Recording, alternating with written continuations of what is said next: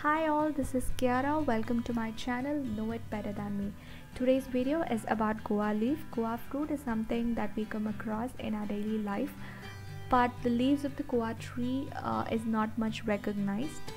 The leaf is full of antioxidants and anti-inflammatory agents.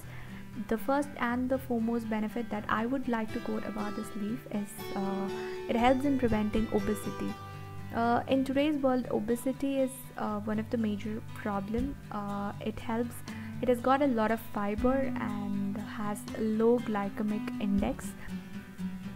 And it also helps in um, preventing the fat cell formation and it also helps in burning the fat cells.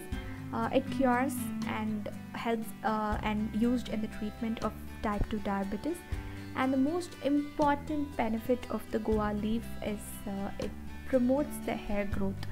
Uh, it has got uh, the vitamin C which helps in boosting the collagen activity. It helps in hair growth on a faster rate and it also makes it healthier. Uh, for this purpose crushed guava leaves or the extracts of the guava leaves are used. Um, it also cures a lot of uh, skin problems and also fight allergies as it has got a, a antibacterial and anti-inflammatory benefits in it.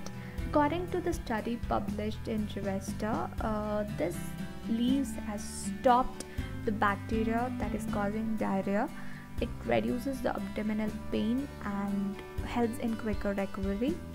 Uh, guava leaves acts as a fantastic home remedy for toothaches, swollen gums, and oral ulcers um, you can also grind the leaves and apply it in the gums and teeth to cure the problem uh, it also helps in maintaining the thyroid due to the high levels of copper in it a study by Jajjar et al. found that guava leaf has uh, got anti-cough effect which uh, smoothens the respiratory area muscles. The other benefits include it cures ulcer, prevents cancer, high levels of vitamin A in it helps to cure and uh, improve the eyesight uh, helps to deal with many skin problems like acne and uh, premature aging signs.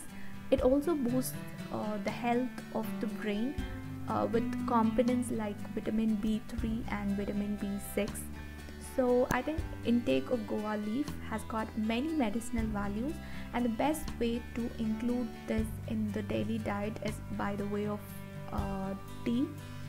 Uh, just get some fresh guava leaves um, put it in uh, boiling water. Let it boil for some 15 to 20 minutes.